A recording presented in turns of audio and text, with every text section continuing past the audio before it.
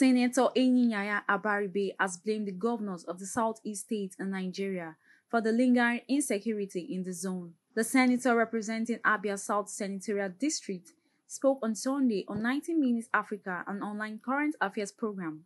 He noted that the political differences of the governors have hampered any effective resolution of the security situation in the zone. He cited the example of the failure of the state governors to jointly fund the Ebube Agu Zonal security outfits. Abaribe also accused those he termed as external elements of worsening insecurity in the southeast.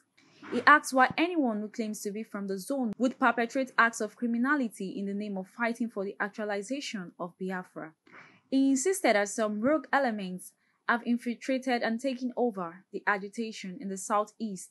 Mazi Nnamdi Kanu told us that he is not in support of the sit at home, but every Monday, people sit at home because some elements keep issuing counter orders from abroad. He called on political leaders to come together to resolve the crisis bedeviling the zone. This is not time for blame game. We need to come together to resolve the crisis, he said.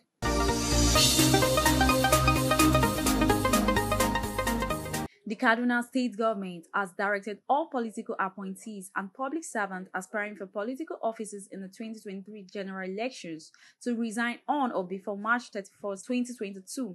This directive is contained in a statement issued by the Secretary to the State Government, Balarabe Abbas, who said that the directive for such public office holders to resign their present appointments on a public service is in conformity with the 2022 Electoral Act recently signed by President Muhammad Buhari. He therefore said that such persons have until March 31st to tender their resignation letter to enable them to pursue their political aspiration.